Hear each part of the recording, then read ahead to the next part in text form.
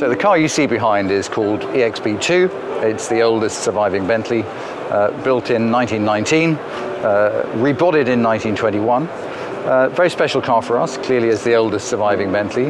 And uh, true to our, um, uh, our DNA, uh, has a lot of innovation in the car.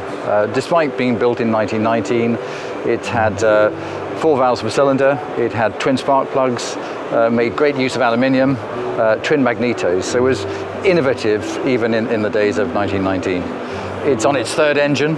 Um, it was first uh, with a, a, three litre. It was then replaced with a, a, three litre TT engine and then with a production engine number 144 in 1921, which is very normal in the day to have a number of engines and bodies.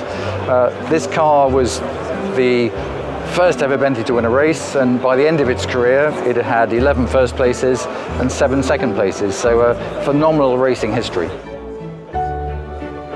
2019 is our centenary, um, a great pride within us to, to reach our 100 years.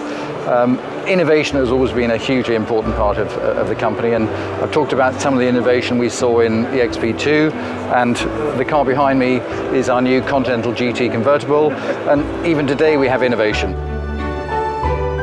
We have a tweed hood, which I think is a first for the industry. We have a, a, a, triple rotating dial, again a first for the industry. So these two cars actually complement each other really well.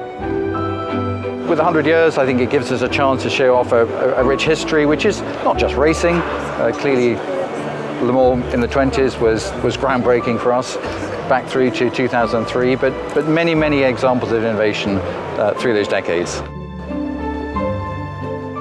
So I talked earlier about the uh, innovation in the car in terms of its valves per cylinder and use of aluminium. Uh, and this led to a, a top speed of 70 mile, 79 miles an hour.